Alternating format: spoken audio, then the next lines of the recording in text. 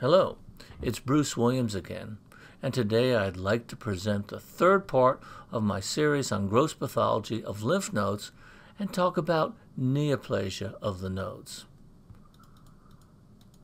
As I do before all of my lectures, I want to thank my colleagues for providing these outstanding images that allow me to make these small lectures available to you. Here is a great representation of lymphoma within a node and extending out into the adjacent tissue around the aorta of this pig. One thing to know about lymphoma is it is simply a tremendous proliferation of lymphoid cells. They don't care about making any type of stroma or inciting any type of matrix to be made. It's just reproduction for them, cell upon cell upon cell. So when we cut through this node, you can see that these cells, unconstrained by any stroma, will bulge on a cut surface and generally are bright white because all you're looking at is cell upon cell. No fibrous connective tissue, no mineral or anything else. The white color is simply a tremendous number of cells that have been added to this tissue most lymph nodes that are affected with lymphoma look the same. Sometimes the most important thing is to note the location because the location of affected nodes will become very important for classification and staging of the many types of lymphomas that we'll see in animal species. While we're looking at this great tumor, let's mention lymphoma in pigs is one of their most common tumors. It's usually multicentric, but it rarely affects peripheral nodes, preferring to attack the internal or visceral nodes as we see here. Here is a very large but infarcted node that you can see that the majority of the node has been infarcted and this is because this tumor has grown so rapidly and it grows without any thought to blood supply. It has grown outside of its blood supply. Neoplastic cells, which are more than 2 millimeters away from their blood supply, generally end up in ischemic damage.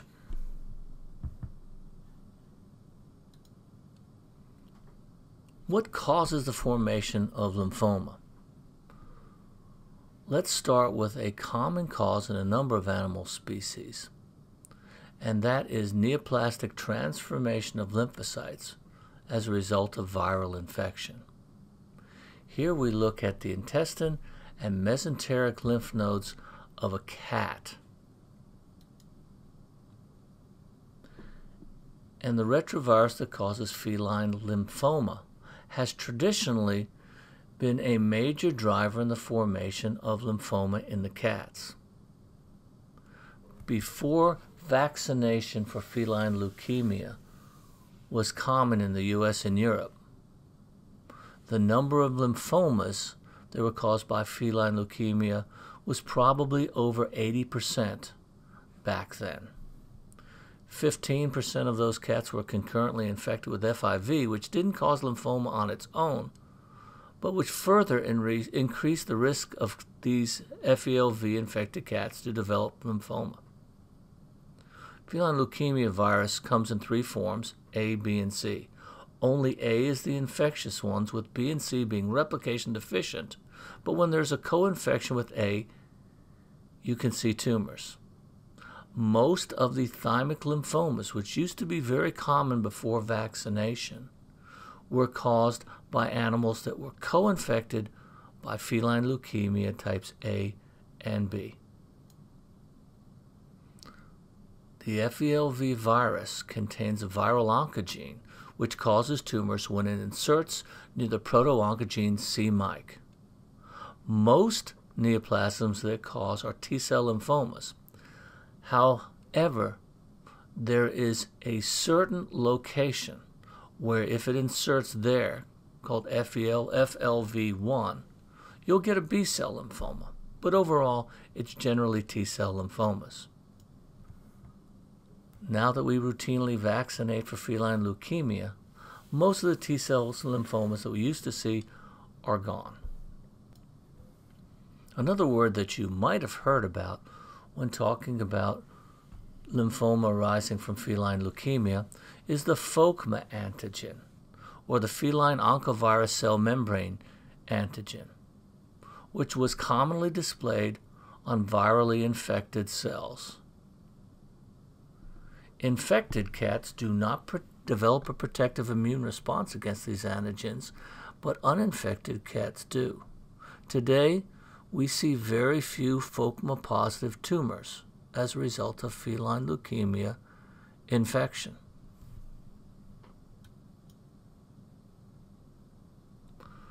Most of the really interesting forms of lymphoma have disappeared today in the US and Europe.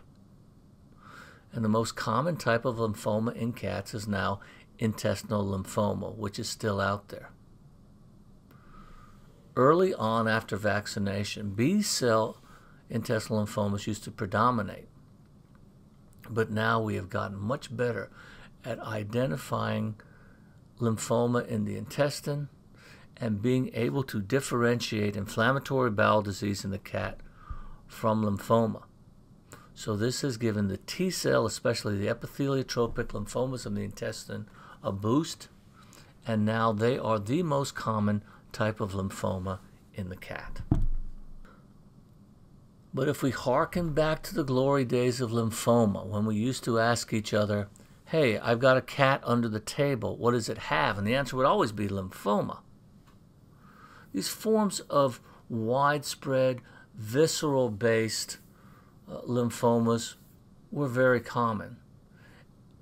And generalized lymphadenopathy also went along with that. We would see lymphoma in the heart of cats, we would see lymphoma in the skin of cats, in the kidneys, and in the spinal cord. And clinical signs generally reflected what organs were affected the most. I would imagine in many countries who don't vaccinate, these are still seen, making your daily path rounds a lot more interesting. Multicentric lymphomas are usually about 70% positive for feline leukemia virus, and most cases affect the viscera.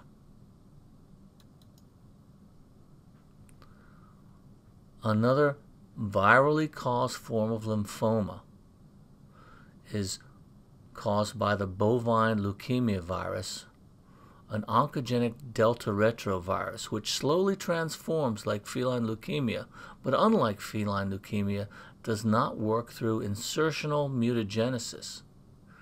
Bovine leukemia virus has no known oncogene and does not appear to integrate into preferred sites in the bovine genome. This is an outstanding picture of a supramammary uh, lymph node from an ox submitted by German Canton. In cattle infected with bovine leukemia virus, we usually see B cell lymphomas, which result from the immortalization of CD5 positive B cells which produce IgM and result in a polyclonal expansion of these. Genetically, there are a number of missense mutations at multiple sites within their DNA, and the suppression of p53 is likely a key step in neoplastic transformation. These tumors will also often express polymorphic or other forms of aberrant bovine leukocyte antigens within these B cell tumors lymphoma in sheep is also caused by bovine leukemia virus. And 30 to 60% of sheep infected with this virus may develop lymphoma. When we look at the appearance of lymphoma caused by bovine leukemia virus, it's usually multicentric and seen in adult cattle. The virus itself may be transmitted by direct contract, uh, contact, such as natural breeding. It may be transmitted by arthropod bites or commonly by vets, including vaccines, but it doesn't persist very long outside the animal. Bovine leukemia virus associated lymphoma, or also known as bovine enzootic lymphoma, often results in a number of asymptomatic carriers. Some may develop persistent lymphocytosis, up to 30%. And then of those animals with persistent lymphocytosis, less than 5% will ultimately develop lymphoma. Because often clinical signs are related to the presence of, of large nodes within an animal, infection may be occult for a length of time until nodes are large enough to cause clinical signs like these large nodes, nodes which resulted in respiratory difficulty for the infected animal. Another very common BLV associated form of lymphoma is juvenile lymphoma in cattle, usually affecting these animals from three to six months of age, but some may even be born with tumors.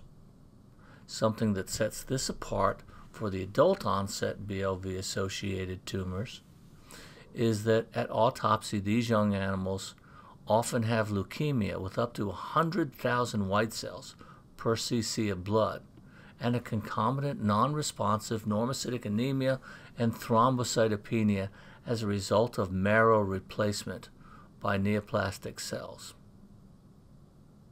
You can see the very large lymph nodes outlined here Infected animals often have kidney, liver, and spleen involvement as well.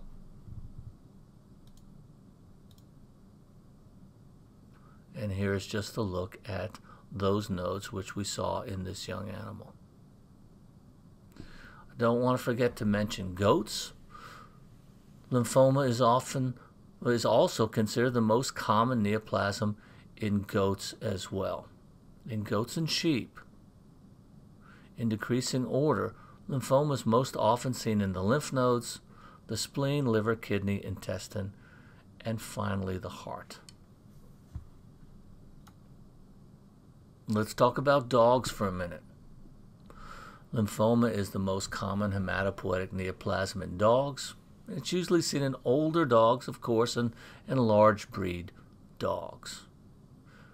Generalized nodal lymphoma is the most common clinical presentation, accounting for about 85%, and diffuse large B cell lymphomas are most common, followed by peripheral T cell lymphomas and the often indolent T zone lymphoma. These are followed by visceral forms, including intestinal lymphoma, cutaneous lymphoma, and finally extranodal forms of lymphoma. And when we talk about indolent lymphomas, indolent lymphomas are lymphomas that tend to affect one node of the dog. They often are far less aggressive, and survival times are longer than we see in animals with generalized nodal involvement. They tend to be a more mature cell type, and one of the more common is the T zone lymphoma, which arises in the area of the node which contains mature T cells. And animals with this form may live for a year or longer. Great picture by Joel Mills. And here's an animal with generalize nodal involvements. You can see that all of the nodes are up. This is a more negative prognostic sign in lymphoma in dogs. So once again, location of nodes is extremely important in ultimately diagnosing and staging lymphoma.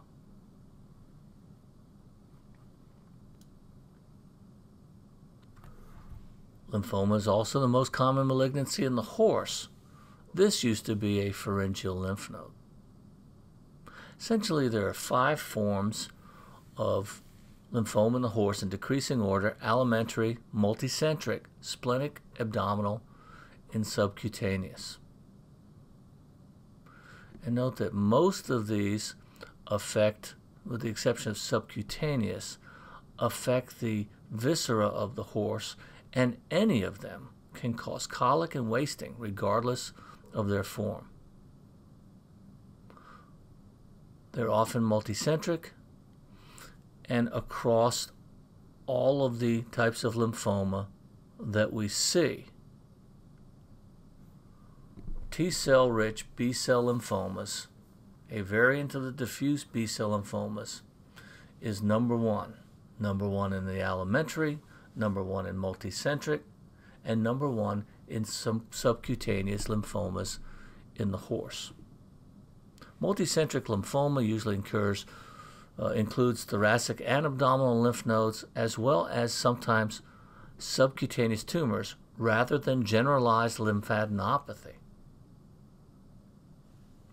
When you come across these T cell rich B cell lymphomas, which are very common,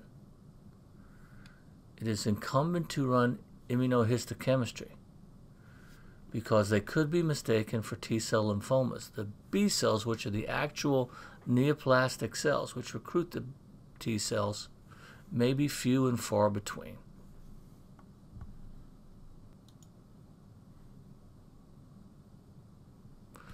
A species that is near and dear to my heart, and a wonderful picture by Lonnie Schumacher shows mesenteric lymph node with lymphoma in a ferret. Now, ferrets also get T and B cell lymphomas, and they have two distinct types of lymphoma regardless of phenotype. One is juvenile lymphoma, in which the animals develop visceral enlargement of the thymus, so large thymic lymphoma, as well as enlargement of the liver and spleen, both very common findings that we see in rodent species. This is classic for juvenile lymphoma in ferrets less than two years of age, come in big spleen, big liver, and a big chest mass, which makes it very difficult for them to breathe. Older animals, on the other hand, develop lymphadenopathy. They may be B cell types or they may be T cell types, and the more we immunophenotype these, the less we actually know, besides the fact that young animals get visceral tumors and uh, older animals get lymph node tumors. Eventually, we'll sort it out better, but that's a nice classification based on the age of the animal. Mice. It's a mouse with a huge mesenteric lymph node. There is also lymphoma of the spleen as well. I would consider in certain strains of mice histiocytic sarcoma as a differential, but right now we're talking about lymphoma. Lymphoma is the number one killer of many strains of mice, including nude mice.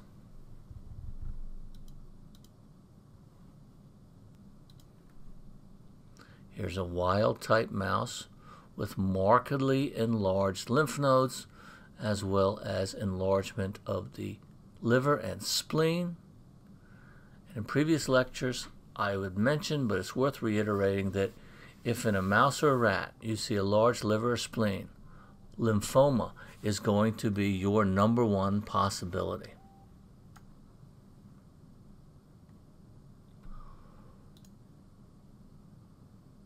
Mice also carry a transforming virus murine leukemia virus, and the incidence is 100% in mice.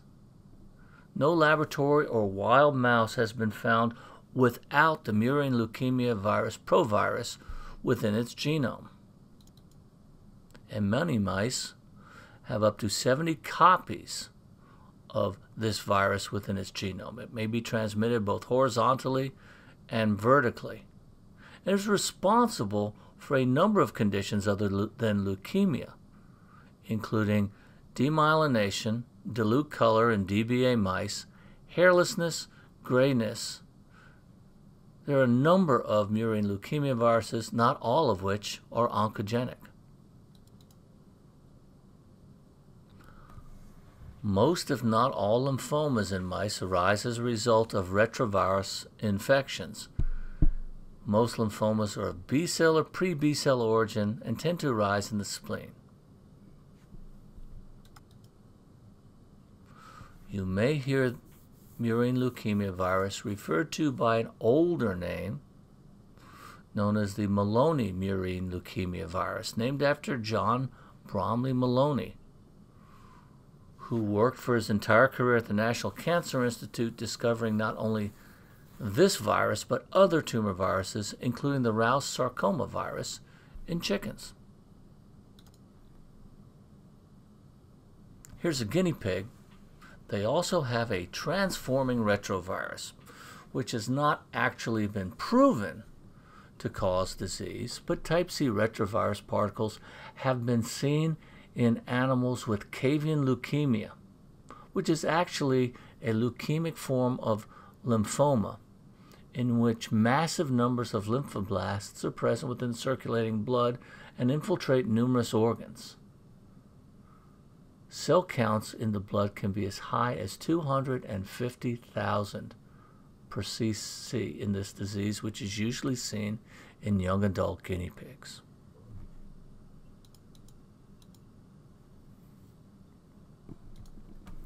Hamsters are very interesting and they have a transforming virus which is not a retrovirus but a polyomavirus, which is their agent for transmissible lymphoma, which causes epizootics within naive colonies.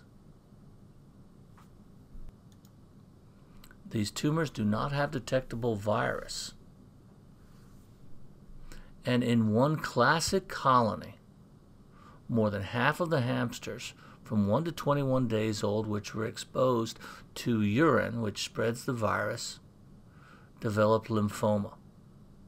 And in a four year period, there were almost 4,000 individual cases of lymphoma in young hamsters. Transmission was between animals or ingestion of dried cage litter containing urine and feces. And it was common for more than 25% of newly introduced hamsters in this colony to die of diarrheal disease within five weeks of exposure to hamsters carrying this lymphoma agent. In these animals, most of the lymphomas arose within the mesenteric nodes and the intestine, but also, as seen here, affected the liver as well. But very interestingly, the lymphoma cells in these animals were not permissive for polyomavirus replication, and no virus particles were ever produced.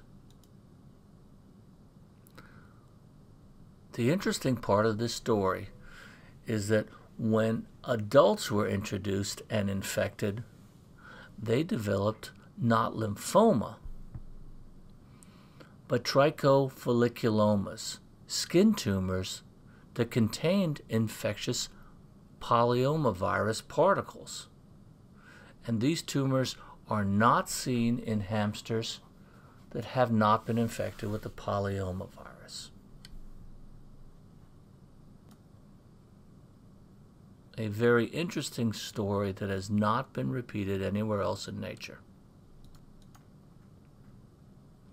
A number of other species also have transforming viruses gamma herpes viruses are well known for transforming lymphocytes in non human primates. Alpha herpes viruses being necrotizing agents, gamma herpes viruses being well known for causing lymphomas. In this baboon, the inguinal lymph nodes are very large because the animal was infected with herpes virus papio type 1 a gamma herpes virus that causes B cell lymphomas in infected animals.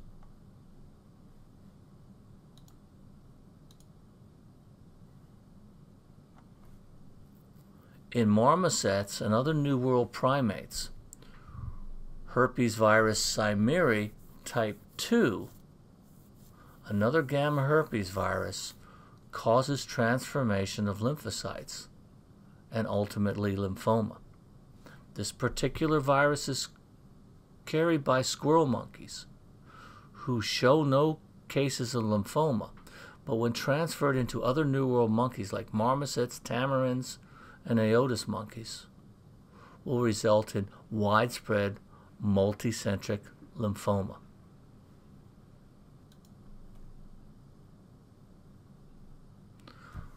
The story of viral transformation is a little different in macaques because most multicentric lymphomas in macaques are the result of concurrent infection by two different viruses. The retrovirus, specifically the lentivirus that causes simian immunodeficiency virus, which will not cause lymphoma unless there is current infection with a lymphocryptovirus, also a type of gamma herpes virus.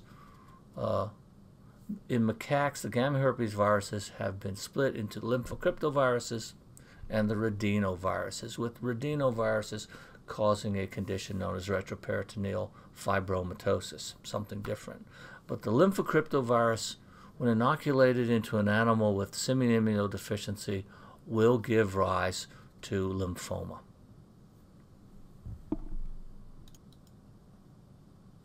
We have focused primarily on the number one neoplasm of lymph nodes, and that's lymphoma.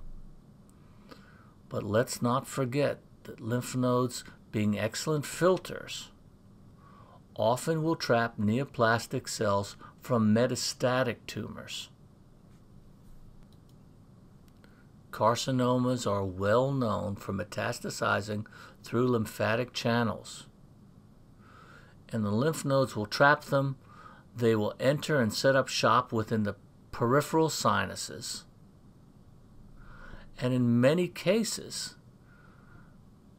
neoplastic cells have the unique ability to bypass the antigen discovery portions of the lymph nodes and get down into the medullary sinuses, where they're pretty much left alone as well.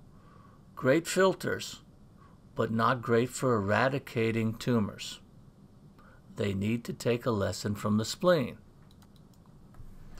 There are some inherent changes that you will see in lymph nodes when cancer is nearby.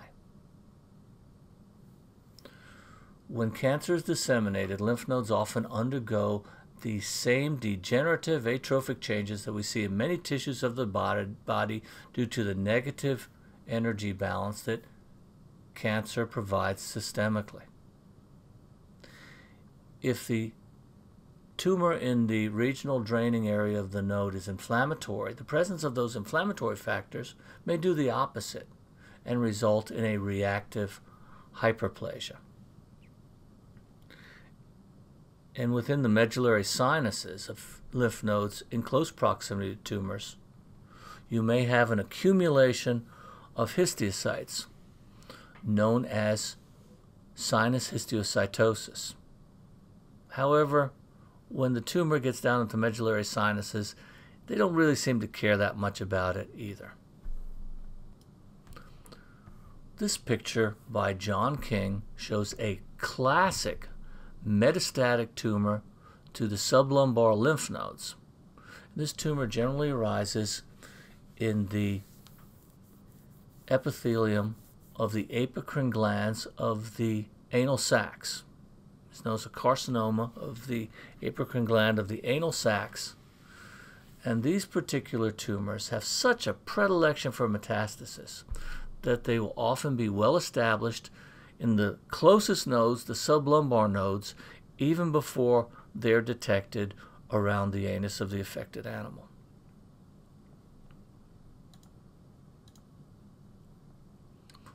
One more metastatic neoplasm, and a great picture from Raquel Rech from uh, Texas A&M, is that of a horse. And these abdominal lymph nodes have been largely replaced by metastatic melanoma. a common neoplasm in older horses. We see it extremely commonly in brown horses and gray horses. Brown horses, small tumors tend to kill them quickly, and they're very aggressive. Gray horses, like Lipizzaners or, or something like that, seem to be able to carry a tremendous burden of these tumors. So when these old gray horses are opened up, the one or two small neoplasms you may see at the tail base don't show anything about the amount of tumors that you may, may see going up either side of the uh, spinal vertebra or are present in many sites within the abdomen. Well, I hope you've enjoyed this uh, a brief discussion of neoplasia and lymph nodes. This will cover the entire group of lectures on the hemolymphatic system. I hope you've enjoyed them, and I hope you will tune in again to the Foundation's Facebook page or YouTube channel for more videos. Thanks so much for your attention.